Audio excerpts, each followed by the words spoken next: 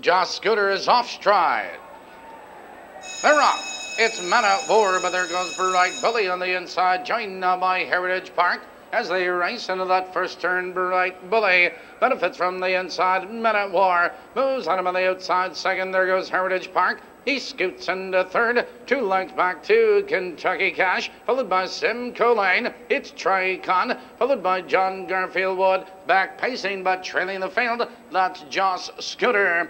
Out of the turn, moving for the quarter. It's Bright Bully with the lead. It's Minute War in second, two lengths Heritage Park in third. 30 and two the quarter. Positions unchanged. Now they settle up the backstretch. And Bright Bully leads the way a light Minute War. He's second to length and a quarter. It's Heritage Park. Right there in third, Tricon out looking for cover. Followed now by Simcoe Lane. Here comes Jarf Garfield Wood and Joss Scooter heading for the half mile juncture. And your leader is Bright Bully. It's Minute War. He's getting the trip in second. And Heritage Park Tricon. The fails halfway home.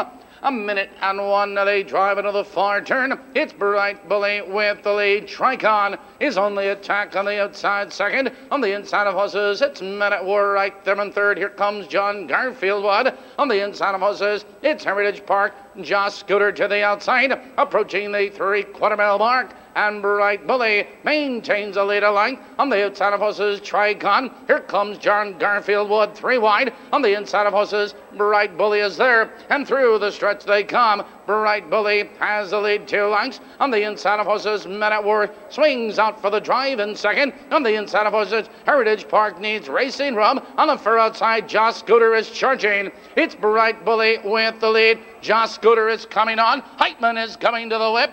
It's Bright Bully. Joss Scooter is charging. Here comes Joss Scooter. Look at him fly. Joss Scooter on the outside at the wire.